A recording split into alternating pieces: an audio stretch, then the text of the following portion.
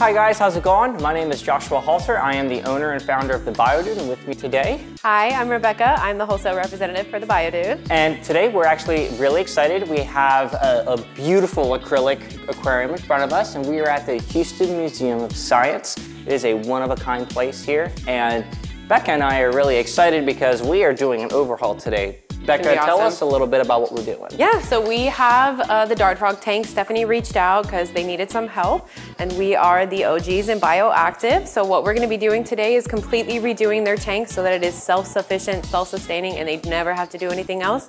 And it's beautiful for the Dart Frogs that are going to go into it. Now, I love this tank because this is one of those custom-made enclosures. So not only is this really thick acrylic, we actually had to do a little bit of work to have it be functional to work with dart frogs.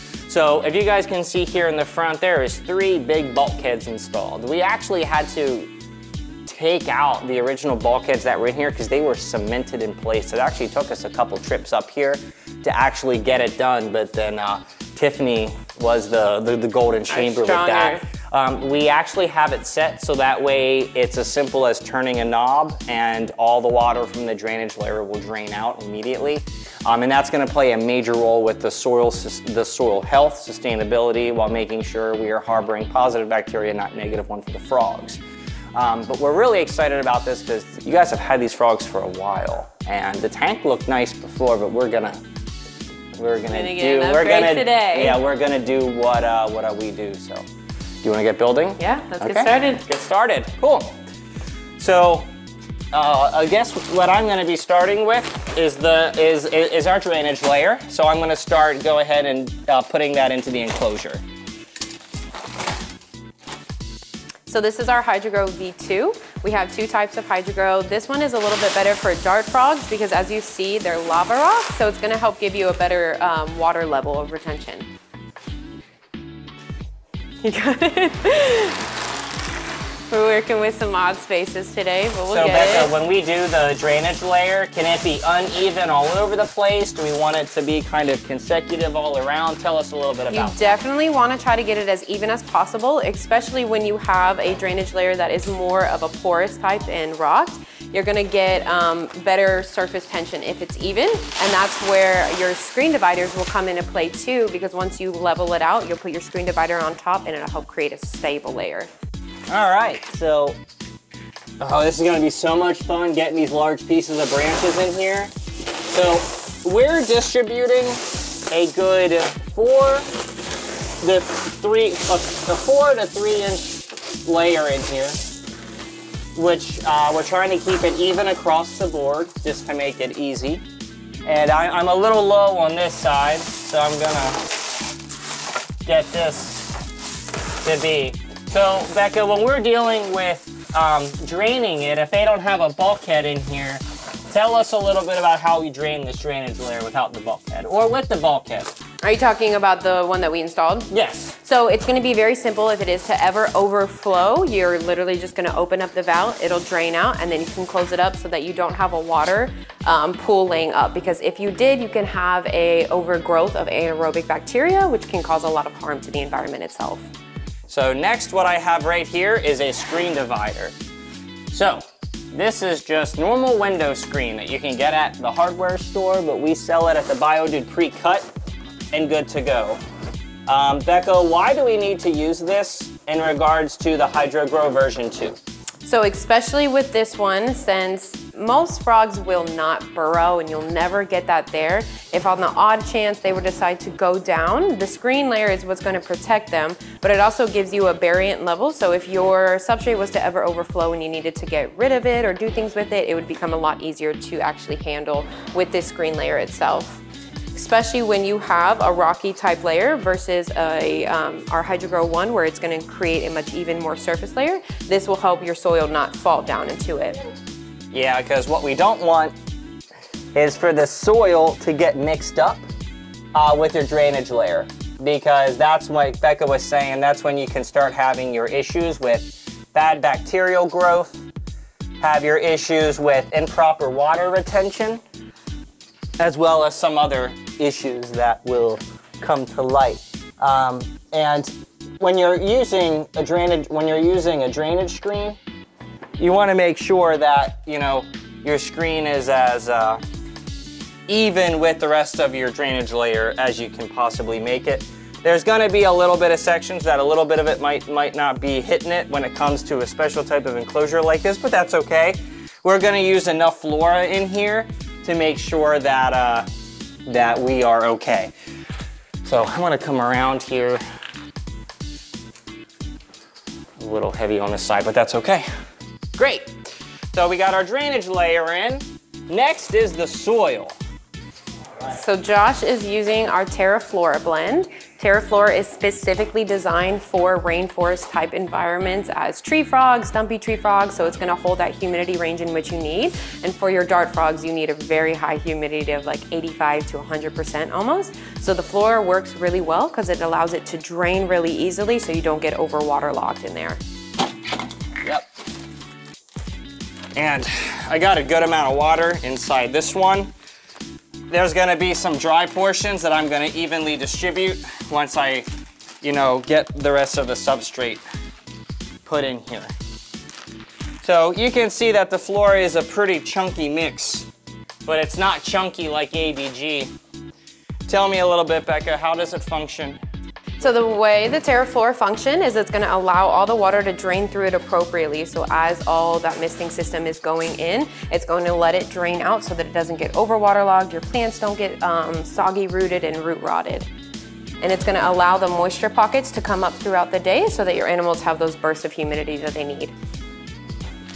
That's right. All right. The chunky components allow it for aeration so you don't have compaction and it's awesome for your frogs. And that is really important because one of the biggest killers of amphibians is soil that retains too much mixture. Or too much mixture retains too much water, excuse me.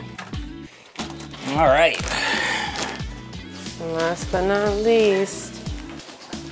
So it looks like we're using a ton of substrate, which we are, but we're gonna be covering our bases really well.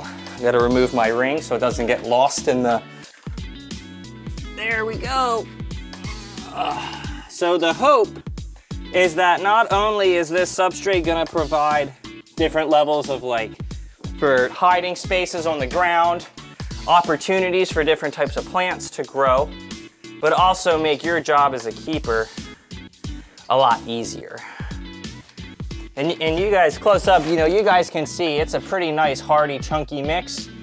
Put my foot in, put my finger in here. We have about three and a half inches depth of substrate, which is ideally what I'm gonna want.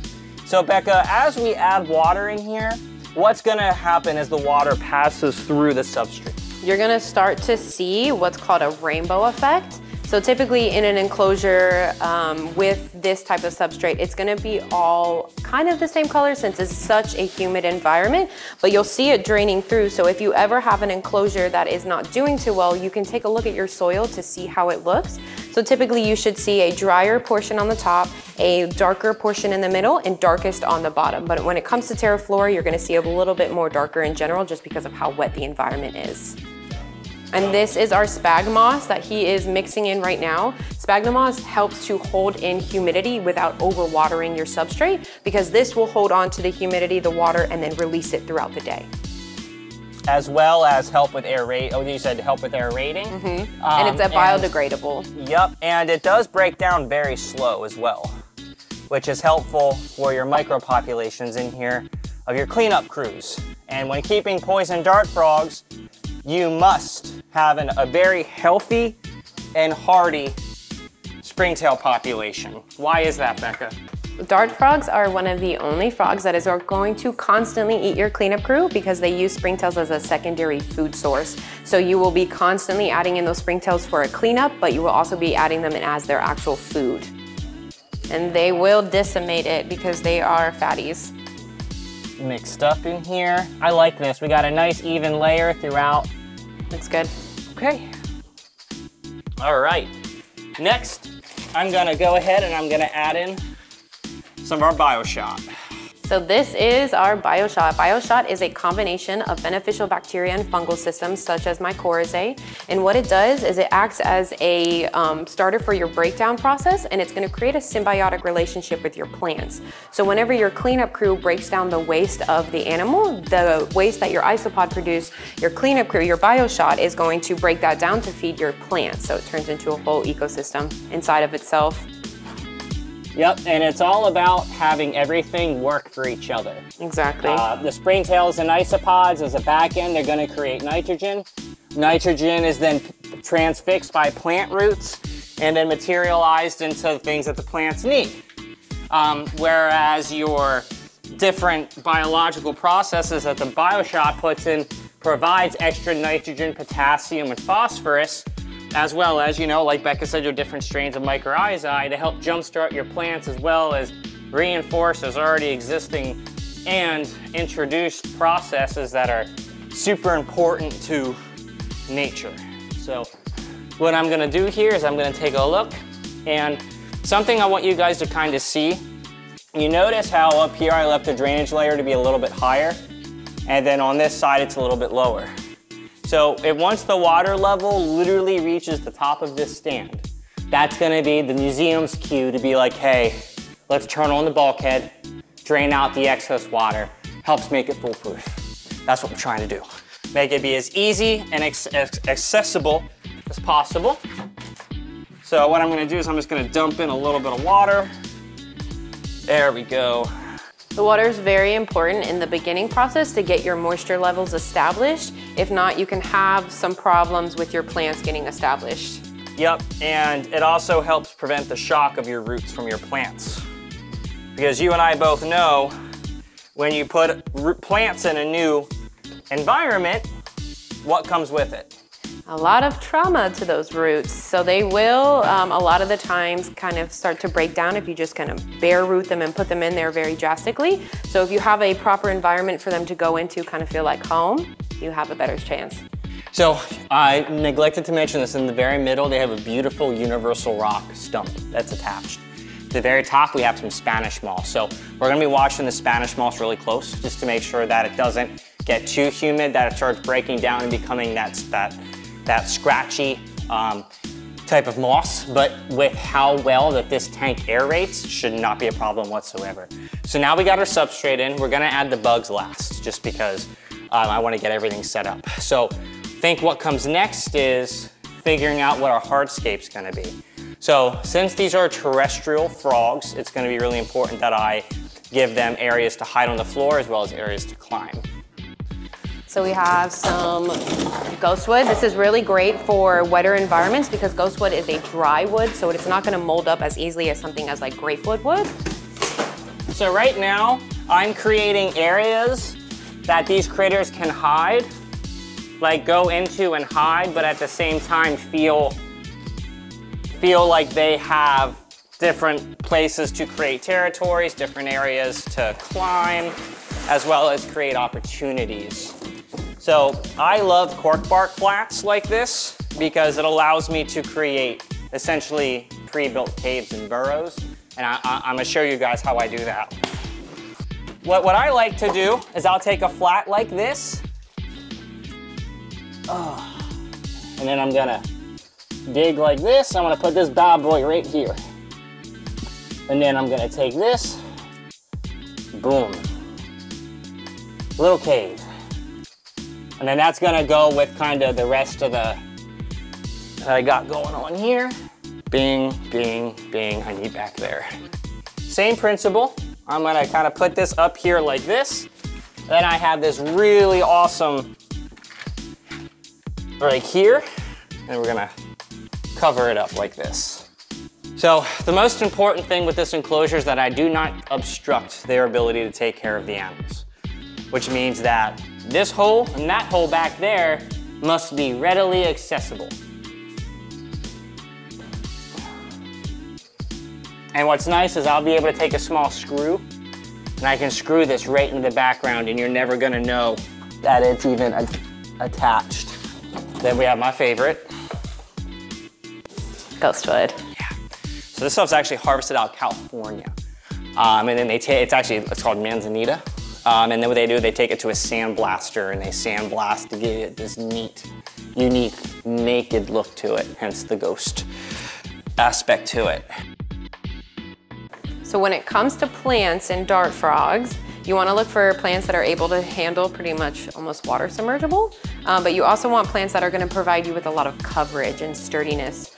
Um, so we have a lot of brom, bromads. Those are perfect for dart frogs. Bromeliads. Bromeliads. Look at how beautiful They're these super are. pretty. They're gonna be awesome pops of this. color in the enclosure. All these offsets. You want to bare root your plants as much as possible before putting them into the enclosures. All of our plants are completely natural and organic, so they're ready for bioactive enclosures. However, we don't use any pesticides or chemicals on them, so there's always the chance of like a hitchhiker. So as you get off as much soil as possible, you eliminate that from the tank.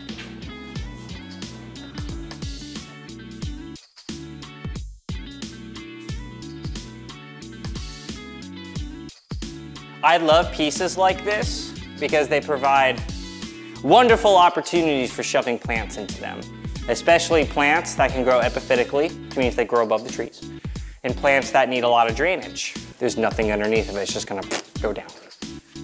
So we'll see what I can get going here.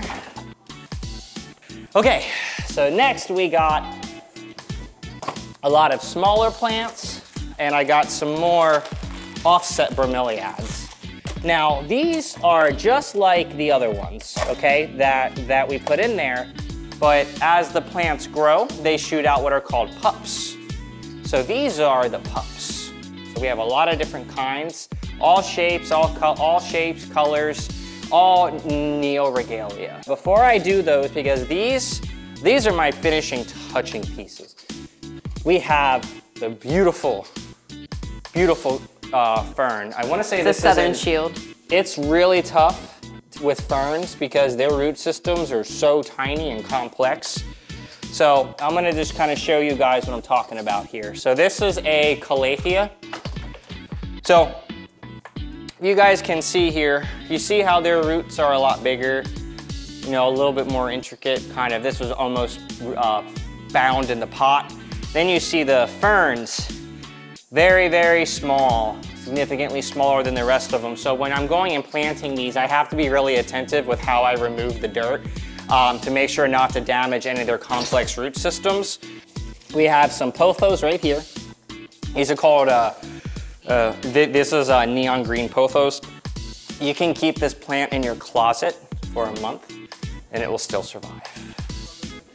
Becca, tell us a little bit, what precautions do we have to take when planting things like this to ensure that you're not setting yourself up for failure? You want to make sure that your roots are still able to expand and grow and absorb water. So if you put it in an area that's never going to get any of that, you're going to have a failure to thrive. And while you'll have a pretty plant for a couple weeks, she will die out on eventually.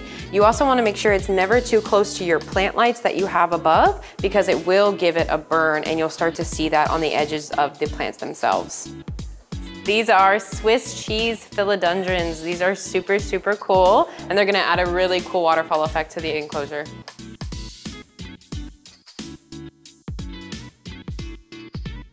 Okay, so you guys saw the rattlesnake calathea. Then we have, it's called a Hypoestes splash. It looks a lot like a Fittonia, but this plant is kind of like a pothos. You can literally grow it in anything. Um, and just to kind of put into example, we've had this plant for about 40 days in our greenhouse and it's already starting to become ready to be moved out of this pot.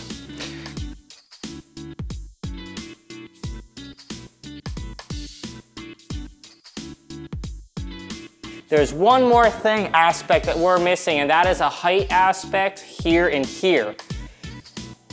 I'm thinking, which one? Over here, So, this one. What I was thinking too. So, water dish, we have a couple options. We can have a water dish literally in front of each of the of the doors. So open it up, pull it, put it back in, makes it really easy. Now it's figuring out these bad boys and how I want to utilize them and where I want to put them. For me, these miniature offsets, they're always an opportunity to tie the room together, is how I like to put it. Next, we have a lot of accents. I am all about accents. We have natural sponge lichen, okay? So you guys see this out in the woods, normally in the Pacific Northwest. We have these things called, these different seed pods called bell pods. Okay, and what's nice about these is they hold water. Becca, Becca will get into that. We have a monkey pod, and we have ram's head pods. These are all natural seed pods from around planet Earth, each having their own unique function when it comes to the forest floor. Becca, tell us a little bit about why nut pods are an integral part to a, bio, to a bioactive terrarium. So not only are they like adding a decorative pillow to your couch, it's gonna add a nice fairy touch, but they provide opportunities so that bell pod and those monkey pods are actually able to be used as water um, opportunities and the springtails are going to constantly be in those areas so they'll reproduce very easily. Especially with that ram's head, I find they just love it. So it gives you a better opportunity for your frogs. They can hang out in there and if you're trying to breed dart frogs, sometimes they'll go in there as those bell pods and use those as their homes. So leaf litter is very, very essential to the process. If you do not have biodegradables in your enclosure itself, the dirt will start to break down on itself and then you get a very fine dirt and it will not function in the way that it is designed. No, it will not. So biodegradables in a tropical environment have about a two to three-ish month down breakdown process. So just like outside when you see the leaves fall, you come back two weeks later, the same thing's happening in your tank. So you need to constantly replenish those biodegradables. And look at this sheet moss. It is nice. Very nice. How much? And this is natural sheet moss. This Yeah, is this is not 100% dyed. A lot of the stuff that you'll see in store is uh, dyed sphagnum moss and it's dyed green and it can leach into your enclosure. But this is completely natural and harvested from local states. And this sheet moss will eventually attach to where he's placing it. So as long as the keepers here give it a good misting, but that misting system is gonna be set up, it should flourish. So we have a hot glue gun. Um, hot glue and then 100% silicone is what you would be using to kind of mount things into your enclosures. If you're going to use 100% proof um, silicone, you're going to need to let your enclosure air out for a minimum of 24 hours after the fact because it has a really strong chemical cell. So for these kinds of tanks, you actually do need very high plant levels of lighting, such as LED lighting, because of the amount of photosynthesis that needs to go on in here. And when it comes to making sure your plants are getting what they need, what are some of the signs that the general keeper should look for that their plants aren't doing so hot? So browning on your leaves is a big one. Um, yellowration in the colors. So if you see like your plants are starting to turn yellows around the edges or even towards the middle, it can be an indication that either your soil function isn't working appropriately or your lighting isn't going through. Um, and we are always there to help. So if you ever have questions on your plants, you can always email us at our customer care team and they can help you out.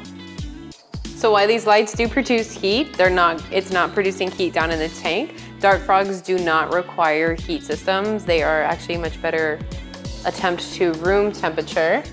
So, dart frogs need to have a bunch of leaf litter. Why is that? It is going to be for production of springtails as well as hiding in their aeration process. So they want to feel as hidden as possible and as secure as possible because they know that they are very small and they are low on the food chain. So if they feel hidden, then they will feel secure.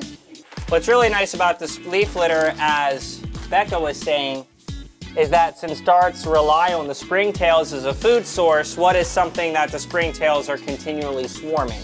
They are continuously swarming your biodegradables. So especially in environments with dart frogs where you have an overproduction of springtails, your uh, biodegradables are gonna break down at a little bit of a faster rate. So you need to add in more things like isopod paperback bark, sycamore paperback bark, cork, and all of these kinds of things are gonna be what your springtails feast on when there's not enough waste. There we go. Like we said in the beginning, giving it that good watering in the beginning is very, very crucial to get those moisture levels established in the lower levels. So when your plants are going to take root, they actually have something to drink. I know that was a little aggressive. so all that's left now is for us to put in the springtails, the isopods, which we're gonna be doing here a little bit later after I get this tank, get it settled and established. Now we're just watering. So as I'm going through, I'm making sure that all the bromeliads have fresh water in their axils. So Becca, when it comes to letting your bioactive terrarium maintain, what's the general acceptable length of time for dart frogs to let it sit so your springtail populations can maintain or get established? Minimum three weeks to a month. So you actually have a broom of reproduction in there because if you were to place your darts right in after you place those springtails in and expect a reproduction, that is a false reality um, they will just completely eat them. So you will be constantly reproducing them. So if you get that big boom, because the way springtails reproduce is they'll die off, have a big boom, die off, have a big boom. So you really need that in there already going before you put in those hungry, hungry hippos. So what we have to watch, not problematic areas, but the pothos that's mounted up here, and the philodendron that's mounted up here. We will likely have to make sure that the, when the Mist King does its job, that it's hitting those plants directly. Um, mainly just because they are gonna dry out five times faster than anything else in here. We have lots of space for water bowls. We have bowl in the back, bowl in the back. We can, then we have all these other opportunity zones with the bromeliads and the nut pods. Overall, I'd say it's turned out pretty good. It looks great. So I have a Mist King in front of me. This is one of those innovative products that hit our industry a while ago. Um, you can use it for almost any application. For this, we're using it for our terrariums. So what's really nice in here, we have two dual nozzles. So this terrarium is gonna have a total of four nozzles in it. We are going to play with the nozzles and we're going to see um, if four is going to be acceptable for us. Um, and we're gonna be connecting them with this black tubing here, okay? Um, we have some tubing extra. It's just you don't typically wanna use clear because clear can harbor like bacteria and stuff. Um, and inside, it comes with your instructions. The double T's do not come with it. Those are additions that we brought specifically yes, for this you. tank. Okay. You got a seconds timer, which Becca's gonna set up and show you guys how to do that because she's so good at it. And then we got a really nice single nozzle. So these were additional. When you buy the whole misting kit, this is what comes with it, as well as assorted bulkheads and other things for your um, uh, reservoir. We have the power adapter. And then we have our hydroponic pump. So this pump is the same type of pump that you can get to grow your plants at a hydroponic store. It's just branded with the Mist King. It's great, great, great pump. Okay, so and this takes the quarter inch tubing. So um, essentially what I'm gonna do is first I'm gonna look at, so it goes here, here, and then we got our nozzles. So we know that these two T nozzles are gonna be connected together. And then we're gonna end it with this nozzle right here, which means we're gonna need what is called a reducing elbow. Is this bad boy right here. Okay, so we're gonna take the reducer, plug it right back into there. I'm gonna have to take them off anyway. Then, we have our lids right here. So these are the really nice custom lids that they have. Um, so what I'm gonna be doing is I'm going to be drilling. I'm gonna be where one of these existing holes is. I'm gonna make the hole a little bit bigger to be able to fit the bulkhead nice and in here. Put the bulkhead in, plug in the tubing, and then I'm gonna be facing the nozzles this way. So when it sprays, it's not spraying on the glass. It's spraying towards the plants. And that's gonna be a big deal. Um, so what I'm gonna do is I'm gonna uh, work on getting that together. So I guess first thing, can I just see if that, oh, if, if only the gods were that kind. Okay.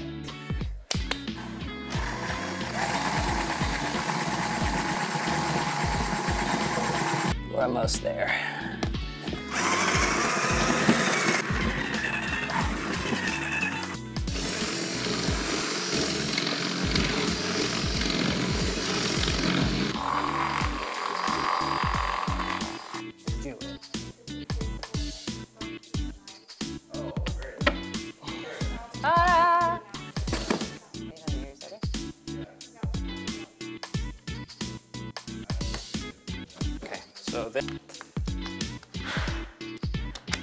Snapped in place. Remove the covers. Then the T, bulkhead in my pocket.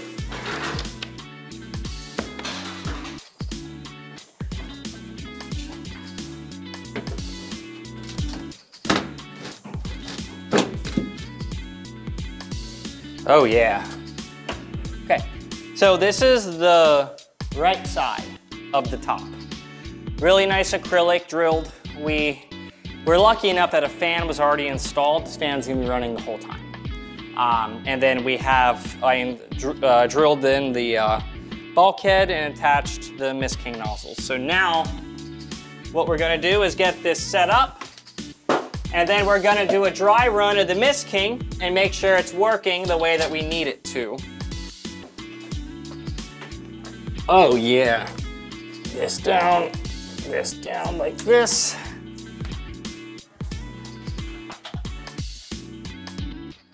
Click in here. So essentially I'm taking the tubing, I connected it into right here at this top.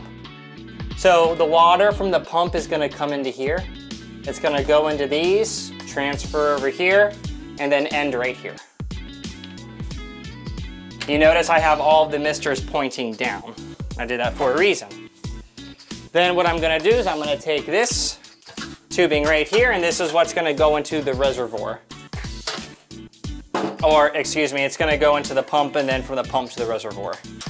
So I guess the next thing is we gotta figure out, well, where do we wanna put the actual misting unit? So what we're gonna do is we're gonna take the tubing, plug it right into the top, right here like this to make sure it's secure. So it's snapped into place. The line ends here at this elbow. Water's gonna travel here, here, from this into here, and then from here into the reservoir. So you notice how the flow is this way. So what that means is that the way to the pump is going this way.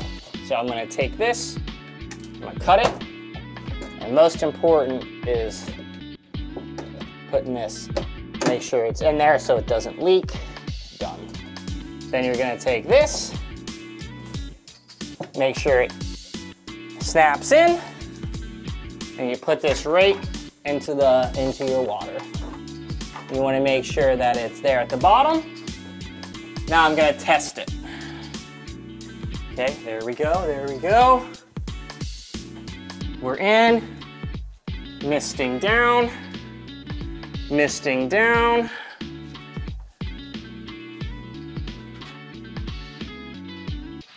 Misting over, misting over, and misting down. Do we cover all of our bases? Yes, we do. We are gonna let this bad boy run for two minutes a day.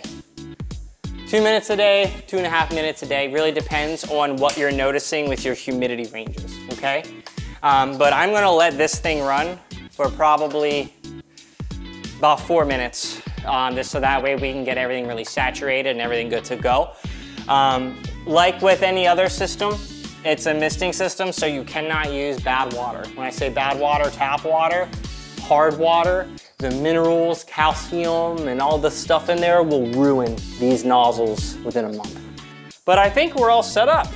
Um, I really want to thank the museum uh, for an awesome opportunity for Becca and I. Um, I had so much fun building this and I really hope y'all's inhabitants like it. Um, yeah, turned out great. Uh, make sure you guys visit my website, uh, biodude.com. Go to my store Monday through Friday and Saturday. Um, hit, you know, follow us on YouTube and Instagram, all that good stuff. Dude abides. So these are our isopods and our springtails that we're gonna be adding into the dart frogs enclosures to make it truly bioactive. To be bioactive, you need two micros. You need your microflora and your microfauna. The microflora is the bioshot that we added, and this is gonna be our microfauna aspect.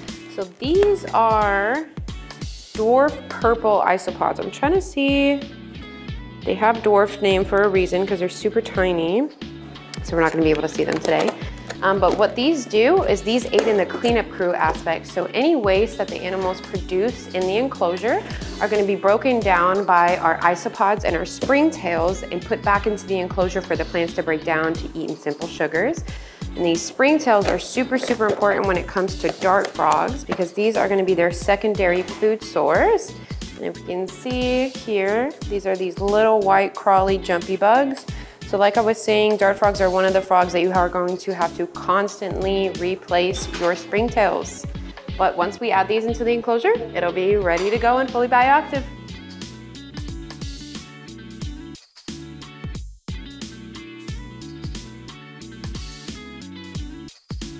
So we added in all of our isopods and springtails now so that it is a truly self-sustaining bioactive enclosure. Your isopods and springtails are gonna take a little bit to start reproducing, so you should see that in about three to four weeks. Um, your springtails will come in large booms and die out, so you'll see them flourishing. You're gonna see a lot of them in these nut pods that we've added, so those are gonna be really great breeding grounds for all of the isopods so that they do not have to go ahead and, and clean the enclosures anymore. It'll do it for it. So any of the waste produced by the animals is gonna be broken down into the actual enclosure and able to feed the plants and it'll turn into a whole system. It's really awesome to watch and it's gonna be really fun for the whole museum to be able to experience something like this.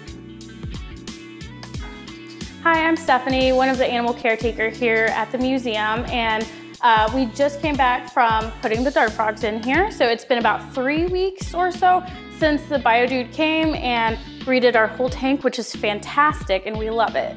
So the reason why we had them come and redo the tank was because the dart frogs needed a little extra space to move around and hide in because if the frogs feel like they have more places to hide, then they do feel more secure and they will come out a little bit more so everybody will get a chance to see them.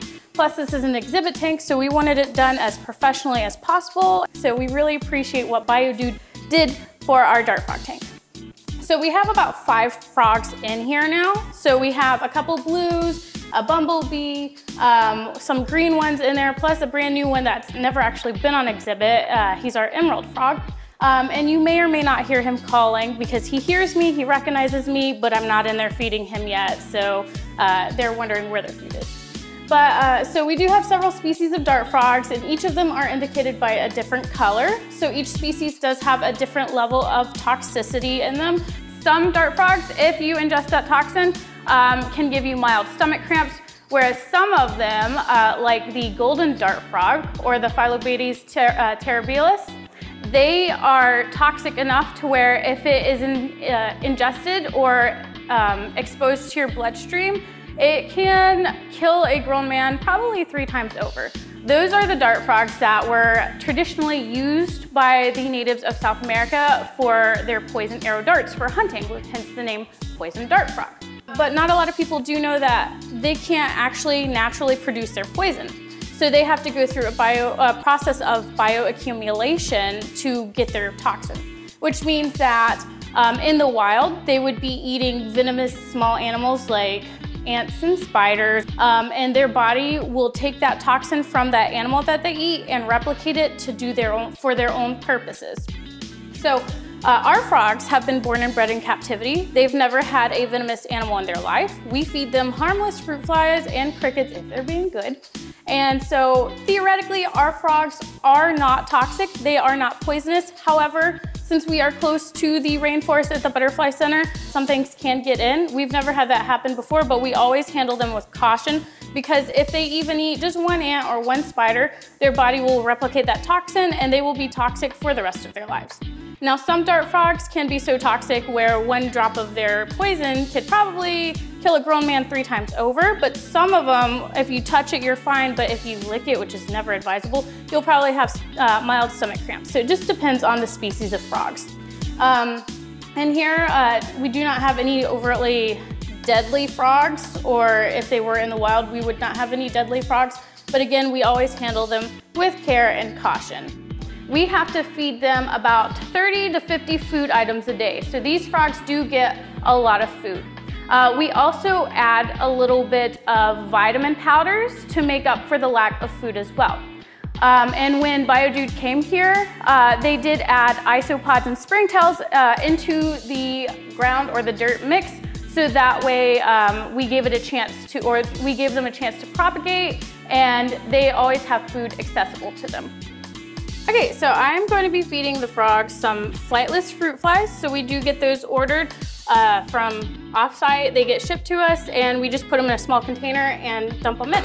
So while the frogs do have a bunch of isopods and little critters in there that the BioDude provided, we still want to provide them their other diet daily so that way they don't get too aggressive or they don't get really hungry because dart frogs do like to eat a lot.